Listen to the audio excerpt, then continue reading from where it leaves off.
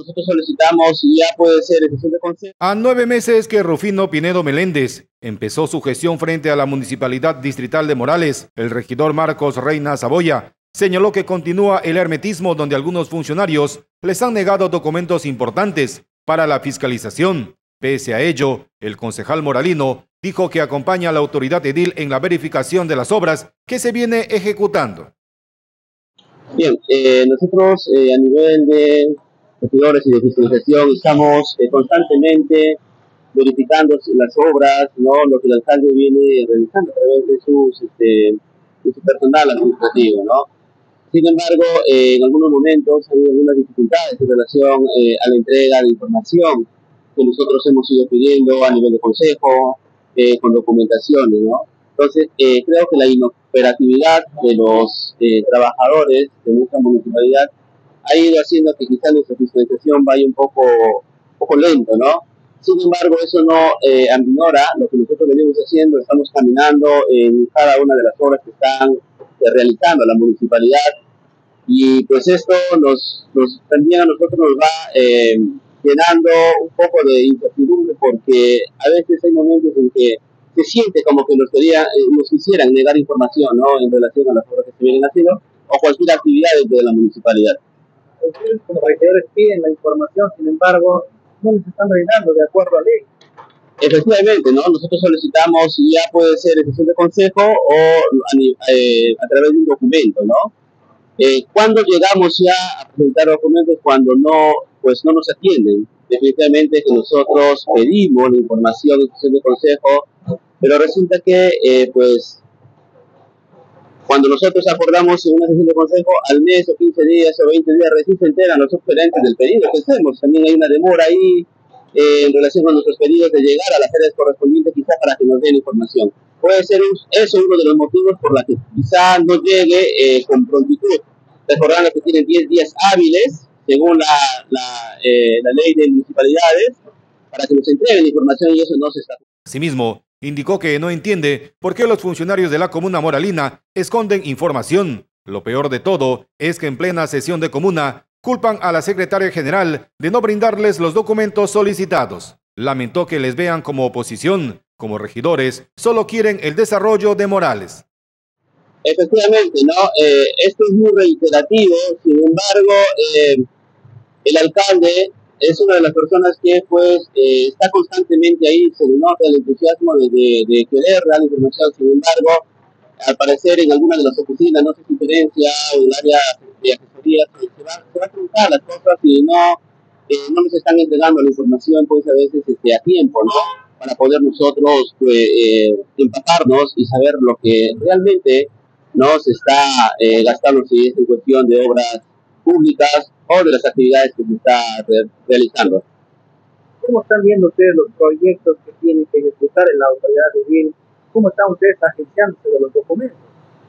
Mire, los proyectos, eh, hasta el momento, por decirlo así, ¿no? Eh, si no un plan, por ejemplo, que ya ha sido ejecutado el cambio de redes, ¿no? Eh, pues estos tiempos nos han informado que el día 20 de este mes tendría que empezar el asfalto, eh, de Girón Inclán, ¿no? Girón San Pedro. Eh, sin embargo, pues ha llegado también, va a llegar nuevas obras, ¿no? La información, vuelvo a repetir, siempre se ha eh, solicitado en el Consejo, nos han explicado, pero físicamente no nos han entregado ningún documento, ¿no? Efectivamente, el método en el sentido de que, pues, demora, no sé cuál es el motivo de la demora, creo que también en su momento la regidora Chiril ha hecho una denuncia pública en relación a esto, porque ella sí presentó un documento y pues le habían contestado de una manera que creo que no era correcta, ¿no? Ya ustedes seguro que la población se ha enterado de ese, de ese caso, y pues entonces eh, eso como que también no causa en nosotros cierto malestar, porque definitivamente nosotros como autoridades estamos para fiscalizar, estamos para poder enterarnos de lo que pueda o está sucediendo, porque de una u otra forma eso nos permite también a nosotros informar a la población, porque yo re recordemos de que la gestión somos siete regidores y un alcalde, no, no es que eh, los de oposición, pues de repente somos los de, como lo llaman los más fregados, no es así, aquí nosotros somos gestión, nosotros no somos oposición, al contrario, hemos puesto la camiseta de Morales y queremos trabajar por él. Finalmente, Marcos Reina manifestó que desconocen qué proyectos existen por ejecutar en la actual gestión, en especial en seguridad ciudadana. Solo conocen que existe un trabajo articulado, pero es insuficiente porque no habría presupuesto y proyectos a implementar. En cuanto a la seguridad ciudadana, en estos tiempos eh, se ha visto bastante el avance en relación a la disminución del pandillaje en nuestro municipio, ¿no?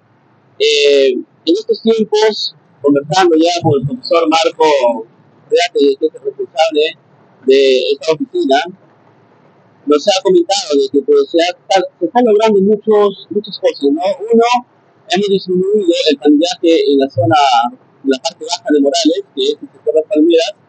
Eh, también se está haciendo constantemente los patrullajes a pie y motorizado en coordinación con la Policía Nacional de Perú en las periferias de nuestro distrito, ha estado habiendo algunos asaltos en la zona del Codo, en la, parte de, la carretera a Tuxina. Ha habido unos asaltos la semana pasada, sin embargo, nuestros, nuestros serenos pues, han acudido al llamado ¿no?